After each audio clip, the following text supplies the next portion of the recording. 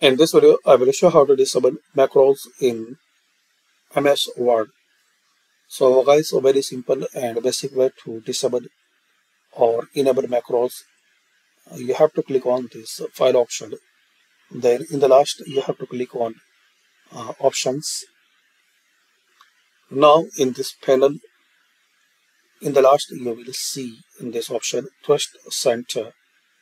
Click on it then here trust center settings. Now guys uh, select micro macro settings if not selected.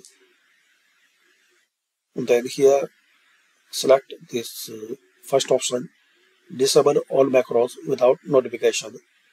And also you can select this one disable all macros with notification.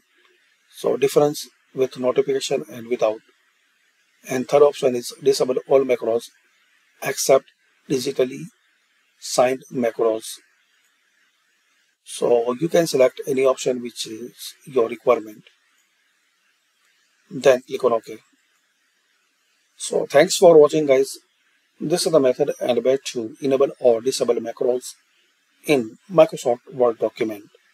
Share, like and subscribe this channel for more useful videos.